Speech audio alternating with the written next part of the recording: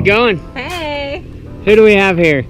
I'm Lisa Preston. All right, Lisa, what are you doing today? What's this harness thing you got on? I am about to jump out of a perfectly good airplane. For your second time? Second time? So you already know what to expect, right? Yes, I I'm would- very excited. I would ask you if you signed the waiver, but if you already jumped, you did. Yeah, like 20 times signing my life away. Yeah, and so you're not even afraid anymore. Nah. All right, so you know what to expect. Yes. All right, well, we're gonna board that plane. We're gonna go to 14,000 feet. All right. We're gonna jump out and just do whatever. I'm Crazy stuff. Loud and hopefully not stick my tongue out is the goal. That's totally okay if you do that. You can do whatever you want. It's your video. All right. All right. Well, I usually ask people, do they have any last words for friends or family? But you survived your first skydive, so Well, my husband told me that he would comfort of his own home when he got the phone call. oh, okay, makes sense. makes sense. All right. Well, if you haven't skydived, you're missing out. Missing out. And I hope whatever you're doing today at home is awesome. Cool. But not better than this. Definitely not. I will see you in the sky.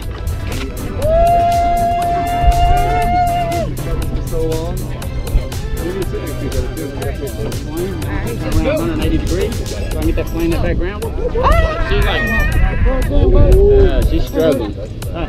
Yeah, it's plugged in. It's plugged in.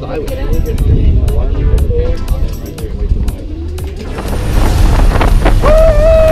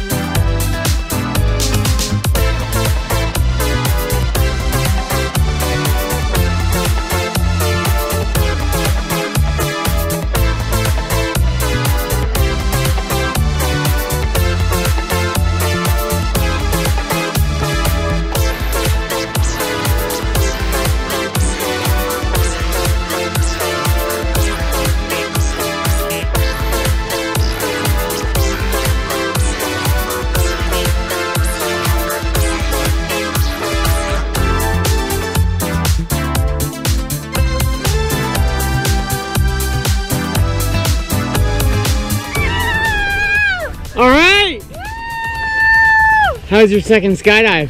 It was so amazing. It's better than the first, but he's good. He's Yeah, good at what he he is good. Yeah. Come on, let me help you up. Thanks. All right, so second time's oh. charm, right? Woo! I have spaghetti legs. that was awesome. Thank When- you so much. You're welcome. Hey, thanks for coming out again. So good. Always Thanks. good to have you back. All right. Again.